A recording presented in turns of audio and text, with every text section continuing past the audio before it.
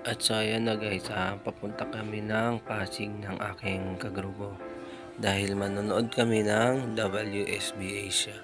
At buti na lang kamo, sakto, rest day niya sa trabaho.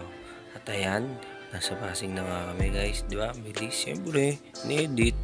At ayan, sa tulay kami, bis magpatakbo ng kagrupo ko, no? Dahil sabi niya, mag-uumpisa na daw. Ayan, nadaanan nga namin yan, pati itong simbahan ng Pasig. And ibig sabihin, lapit na kami sa event. At ayan na nga yung Pasig City Hall. At sa likod lang yan, ayan na yung Pasigenyo. Ayan, liligo kami dyan, liligo kami dyan. Tiyan mo, liligo kami. O, diba? Ayan, ayun na nga yung mga kapwa namin mananayaw.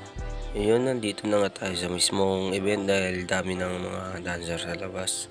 Nakakamiss dyan lumaban dati kasi malaban din kami dyan. Nakakamiss talaga. Sobra. At ayan mga kagrupo ko. Tamang FTs lang. Mga geng-geng. With Kuya Mano, Fishbone. Grabe yung tirik ng araw dito sa Pasigueño. Sakit sa balat. Parang pagtirik ko sa kanya dati.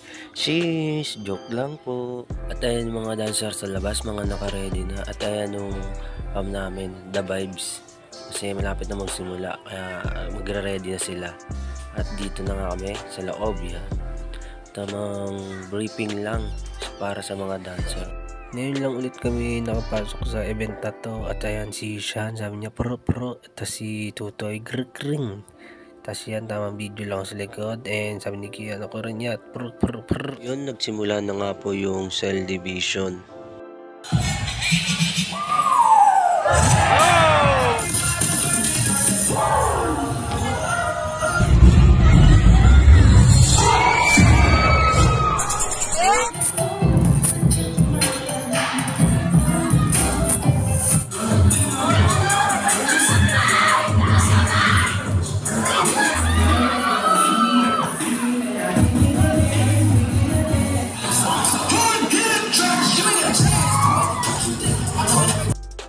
At nag-break time nga po pala muna kami sa panonood doon sa loob dahil bigla kami nagutom. Solid lahat ng division, ang lalakas ng grupo nila.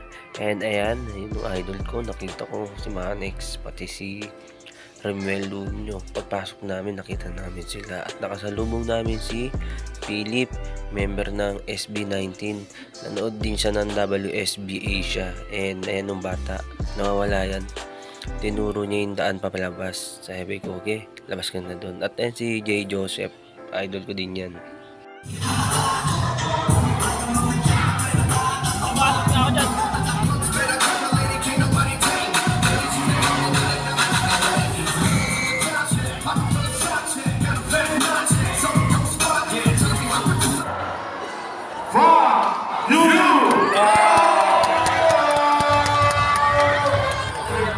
Nice, congrats, coach!